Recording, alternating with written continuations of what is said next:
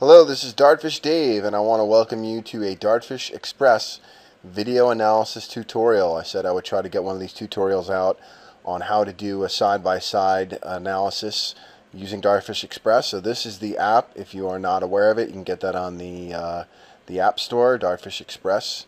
I have it on my iPad, so I'm going to go ahead and open it right now. It is, I believe, um, $4.99. So once you open up Dartfish Express, you will see a couple of clips that I've imported into the program. And one of the things that I think a lot of folks struggle with is how to get videos onto their iPad, and that'll be a separate sort of uh, tutorial. But there's screen capture software that you can use to go online and capture a single stroke of, of any sport, and then uh, you can email it to yourself, and then from there import it into your library and then from your library, you can add it to Dartfish Express. So what I'm going to do quickly is just go to my email and I will see that I have sent myself an email with a video of Tiger swing. So I'm going to tap on it and I can see the video is, is playing or will, would play. In the top right hand corner I can click on the box with an arrow out and hit save video. Alright, so once I do that, now the video is going to go to my video uh, library or my, actually if I go to camera and I click on the bottom right here, I can see that that video has been added to my camera roll. So once you email it to yourself, you long tap on the video to download it, and then uh, you save it to your photo library, and then from there you can actually bring it into into the program. So now that we're back in Dartfish Express, I can add the video to do my side-by-side. -side. I'm going to do a side-by-side -side with Rory McIlroy and Tiger Woods. So I'm going to click the plus and then go to the camera roll and here's the same video I saw. I'm going to go ahead and click on that and click use. So it's going to import the video in and now I have Tiger's video, uh, the three videos I've added, Tiger, Jack, and Rory. So I'm going to tap on Tiger and now I'm going to start the side-by-side -side process. And in the upper right hand corner, right next to the little eye in a circle, you see two windows next to each other. So I'm going to tap that and you can see that Tiger slides to the side. Click select and now I will tap on today. I've imported the video of Rory McIlroy and then you see the two videos pop up side by side.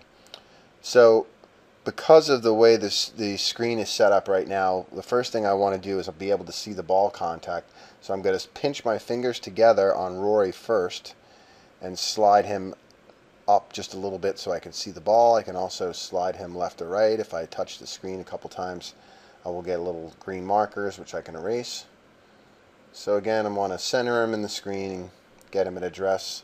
I'm going to do the same thing with Tiger Woods. I want to be able to see the ball and I want to move him maybe slightly to to the left again if you if it any of the drawing tools pop up you can hit the little page with the corner missing out of it and that tool will, will disappear so it's important that the videos that you're trying to use are filmed maybe at the same frame rate um, these should be approximately the same because I got them from the same website um, but if they were different, like the one I tried with Jack just didn't work because the frame rate wasn't even close to being the same.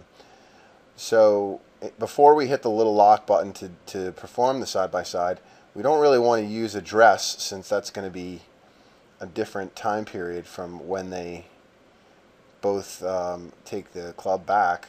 But we're going to try to get the club as close to contact as possible. So right now I'm taking the small jog wheel on the bottom right next to Rory and I'm rolling it forward till that's probably as close to contact as we can get. The ball's a few inches off the club face. Um, the club seems to be right at the tee. So now I'm going to roll the little wheel below Tiger to the right. Again, you will see him move.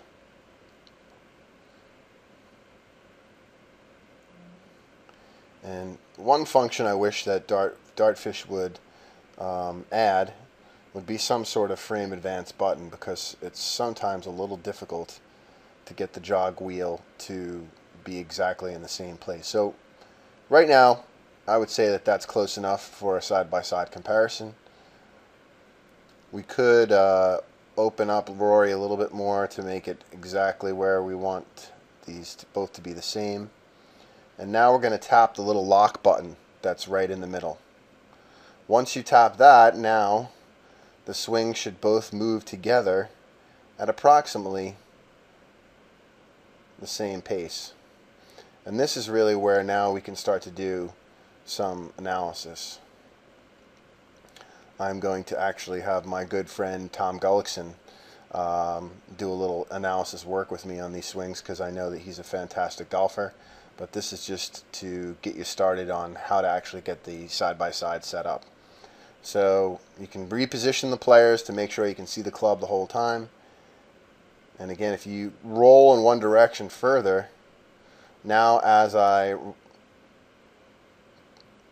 you can see that the videos are nearly perfectly synced, but much easier than um, trying to use video at a different frame rate. So now we can see the swing going up to the top. Would want to move Rory over just a little bit so that we can see the top of his swing. You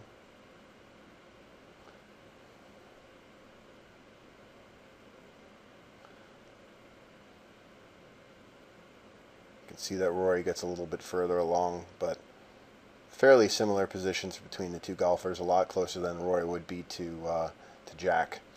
So once we're at least ready to save our side-by-side, -side, we can go up to the upper left-hand corner and click on the word done and say, yes, I would like to save this comparison.